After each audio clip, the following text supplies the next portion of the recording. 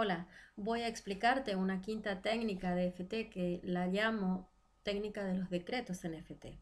¿Para qué sirve esta técnica? Una vez que has logrado los objetivos en tu sesión o en tus rondas personales, una vez que las emociones han desaparecido, esta técnica te sirve para reforzar todo el trabajo realizado y para darte unas pautas a seguir posteriormente en tu vida con respecto al tema que estabas trabajando. No es lo mismo una afirmación positiva que un decreto. Un decreto tiene un aspecto mucho más eh, de énfasis, un aspecto de, eh, podríamos decir, algo relacionado con lo legal, es, mucho más firme, es mucho más potente para el inconsciente. Y tiene unas características determinadas que las vas a ver detalladas con ejemplos en mi blog Terapias Alternativas con Alejandra Mitnick. Hoy voy a explicártelas muy brevemente para que puedas empezar a utilizarlas. Lo primero de ello es que cuando tú decretas tienes que establecer lo que vas a decretar de una manera clara, muy objetiva y muy sencilla. Dos, cuando tú estableces un decreto, para el inconsciente es mejor que sea un decreto cuyos beneficios no solamente sean para ti, sino también para los que te rodean y los que estén involucrados dentro de tu problema. 3. El decreto tiene que estar em, enunciado en un tiempo presente. Por eso la frase a partir de ahora te ayuda mucho para que te dé más eh, potencia, más energía, más fuerza, más ganas de poder realizarlo. Luego, el decreto tiene que em, establecer como primordial la palabra yo. Es decir, quien va a hacer ese decreto eres tú. Entonces, una manera de poder expresarlo correctamente es, a partir de ahora, yo decreto. Supongamos que lo que tú quieres eh, realizar es una meditación diaria al levantarte. Una manera correcta eficiente de establecer este decreto sería, yo decreto que a partir de ahora, cada día, al levantarme, visualizo todos mis proyectos realizados con alegría, bienestar, amor, paz, para mi bien y el de todos los que me rodean. Supongamos que ese es el decreto que nosotros elegimos trabajar. Lo podemos hacer de la siguiente manera.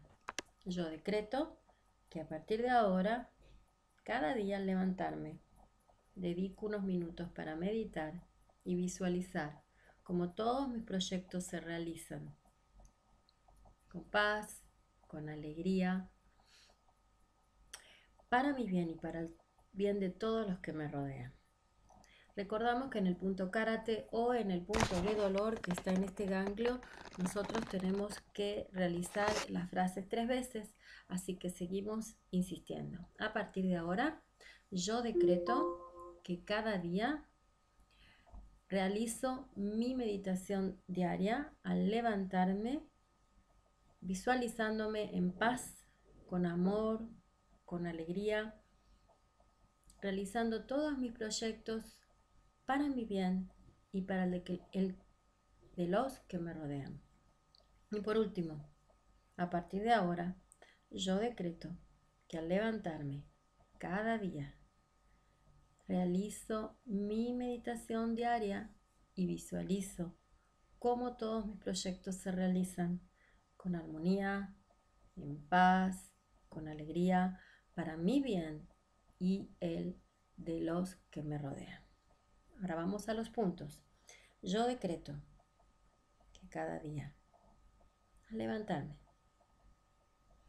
realizo un tiempo de meditación donde visualizo que todos mis proyectos se realizan en paz, con amor, con alegría, para mi bien y el de todos los que me rodean. Yo decreto que estoy bien. Yo decreto que me levanto y medito. Yo decreto que visualizo. Yo decreto que mis proyectos se realizan. Yo decreto que todo mi día sale perfecto. Yo decreto que todo se realiza en paz, con amor, con armonía. Yo decreto que esto se produce para mi bien y el de los que me rodean. Masajeamos el chakra del corazón, respiramos profundamente y nos sentimos en paz. Si quieres ampliar estas técnicas, puedes mirar toda la información que he escrito en mi blog. Puedes comunicarte conmigo alejandramitnik.yahoo.es y recuerda que tienes una sesión gratuita disponible para ti para conocer las otras técnicas que aplico. Muchas gracias.